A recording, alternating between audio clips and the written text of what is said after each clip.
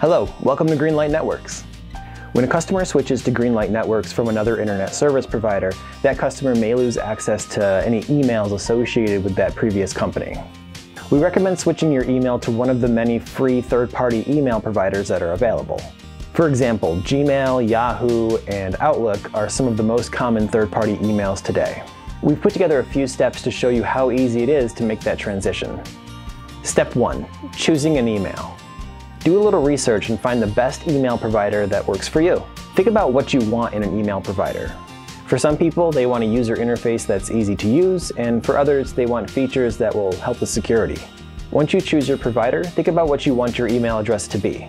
Choose something you can remember. A lot of people making the switch to a new email will keep the same username, but then transition to the new domain name.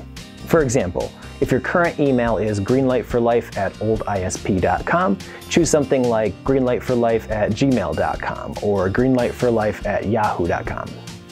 This not only keeps your email familiar to you, but also helps the people you regularly contact to recognize your new email address.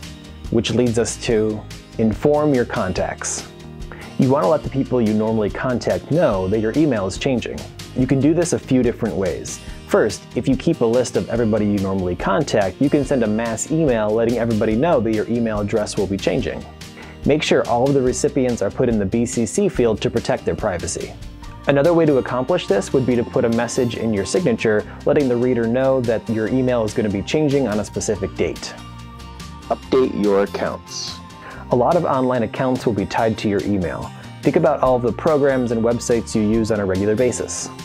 A lot of these websites and programs will allow you to change the email that's associated with them. Others will require you to create a new account with the new email.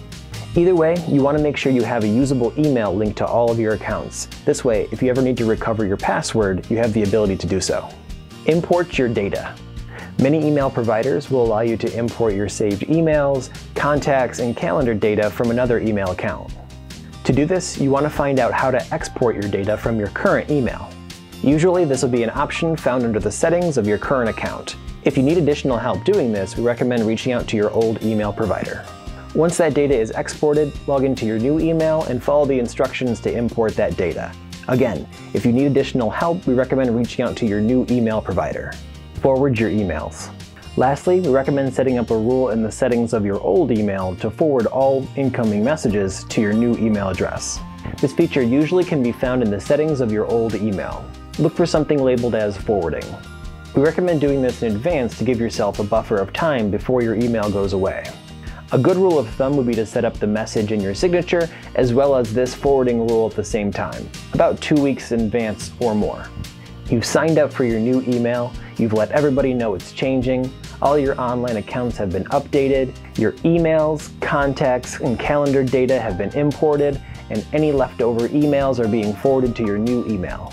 Congratulations, you're all set and ready for the switch. If you'd like to sign up for Greenlight Network's high-speed fiber optic internet, visit our website at greenlightnetworks.com.